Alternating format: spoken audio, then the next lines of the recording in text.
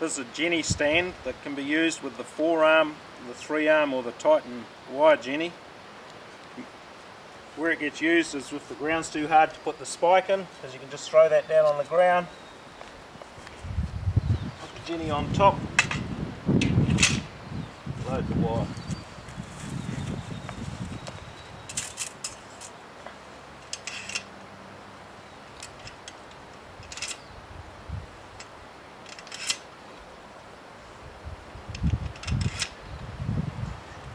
Locate that lead in there and that's ready to be dispensed.